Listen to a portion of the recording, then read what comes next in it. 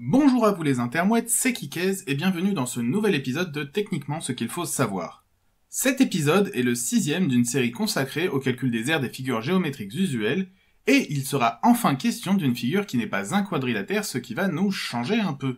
Ce qui ne va pas nous changer par contre est l'utilisation dans cet épisode, comme à notre habitude, de la formule de l'aire du rectangle pour calculer celle de notre figure, donc allez la voir si vous ne vous estimez pas au point dessus. Pour le sixième épisode de cette série, nous allons aborder les triangles et plus particulièrement l'ère du triangle rectangle. Mais avant de commencer, un petit rappel s'impose. Un triangle rectangle, qu'est-ce que c'est? Eh bien, un triangle rectangle est comme son nom l'indique, un triangle, c'est-à-dire une figure géométrique avec trois côtés. Sa particularité qui le distingue des autres triangles est d'avoir un angle droit. Et son côté le plus long, opposé à l'angle droit, se nomme l'hypoténuse. Chercher l'aire de notre triangle rectangle revient donc à chercher comment calculer la surface délimitée par les trois côtés de ce dernier.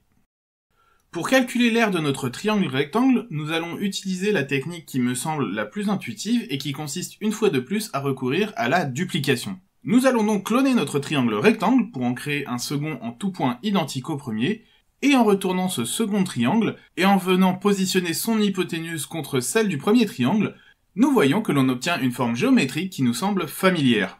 Grâce aux propriétés géométriques de la figure, nous sommes en mesure d'affirmer que c'est bel et bien un rectangle. Or nous savons déjà calculer l'aire d'un rectangle et il nous suffit donc de réutiliser cette formule en l'adaptant à notre triangle rectangle. La longueur de notre triangle rectangle correspond à la base de ce dernier qui sera alors notée B. Tandis que la largeur de notre rectangle correspond elle à la hauteur de notre triangle qui sera notée H. L'aire de ce rectangle peut donc être calculée à partir des dimensions du triangle rectangle. Mais il ne faut cependant pas oublier que ce rectangle est composé en réalité de deux triangles, et qu'il faut donc penser à diviser par deux cette formule pour trouver l'aire de notre triangle rectangle. Techniquement, ce qu'il faut savoir, c'est qu'encore une fois, un simple jeu de duplication et de rotation suffit à calculer l'aire d'une figure géométrique, à savoir ici le triangle rectangle, à partir de l'aire d'une figure déjà connue, le rectangle.